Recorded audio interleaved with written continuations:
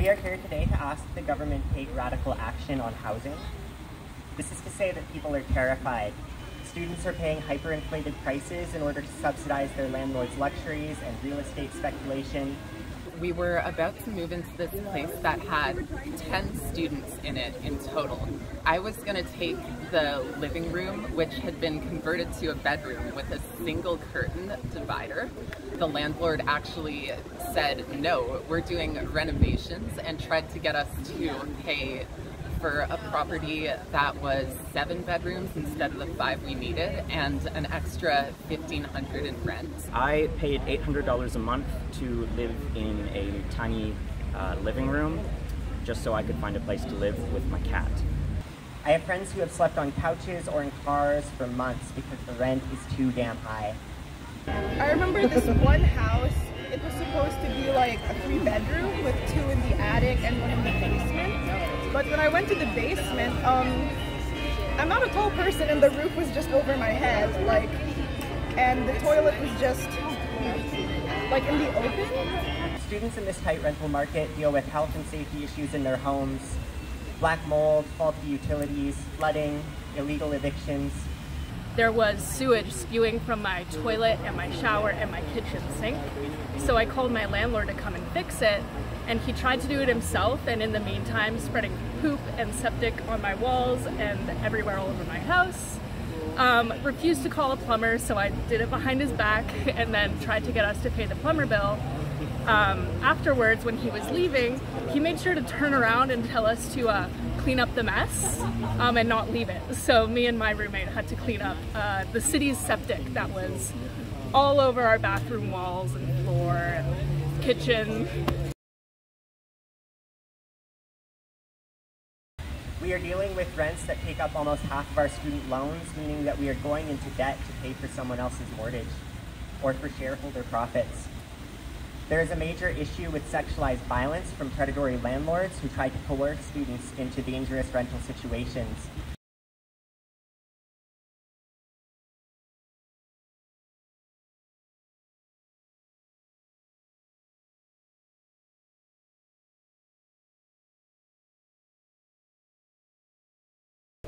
I started off looking on Facebook Marketplace, and um, I had a few good ones. Not great, but uh, dude wanted me to. Uh, he wanted me to give him nude photos so that I could get free rent. We have less students enrolled at UVic this year, which has created a $16 million deficit, leading to service cuts for students. Students can only live in their cars or in tents for so long before they choose to drop out. Sent out a survey to my fellow nursing students at Camosun and UVic. The survey asked about current housing costs, financial resources, and adverse experiences related to housing. I also asked if they plan on staying and working in Victoria post graduation, and how much that decision was influenced by the affordability and availability of housing in Victoria. Quite honestly, I was shocked, but not surprised by many of the responses. While some students had family support while in school, the overwhelming majority were paying an average of $1,200 per month in rent and utilities, with many paying $1,600 or more per month. Over half of the students reported having difficulty finding housing, with a small but not insignificant number of students experiencing homelessness at some point during the nursing program, relying on living in hotels, couch surfing, or living in their vehicle while attending school. 20% of the students had to delay their education or felt they may not be able to finish the program as a result of housing issues. Several students discussed living in unsafe housing, dealing with mold and flooding, while others opted for safer, more costly housing, putting them in precarious financial situations. This is evidenced by over half of the students reporting having difficulty affording food. One third stated they were unable to pay bills or rent at one or more points during the program, and one student even faced eviction.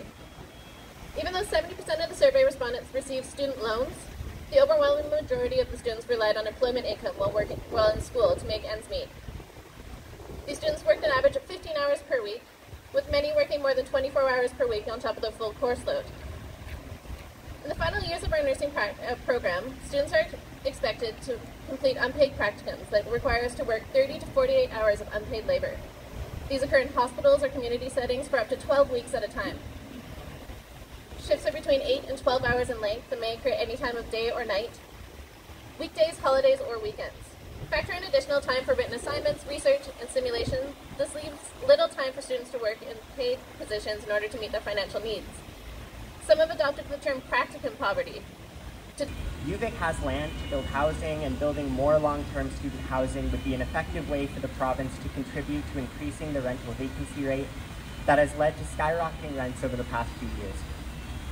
Yeah, I think it's really frustrating to not have UVic kind of work in solidarity with us and lobby the government and uh, to make these changes. They seem to think that students' lives begin when they enter campus and end as soon as they leave, and they're only really worried about when we pay our tuition and getting their own money. And so I think it's difficult to portray to them that above being students, we're human beings and we deserve housing.